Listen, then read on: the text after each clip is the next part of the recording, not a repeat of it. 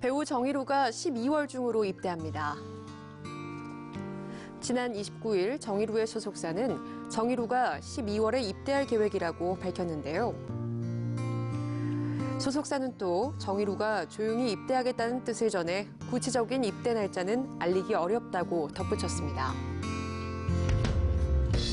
앞서 정희로는 최근 일본에서 열린 팬미팅에서 12월 입대 사실을 팬들에게 먼저 공개한 것으로 전해졌는데요.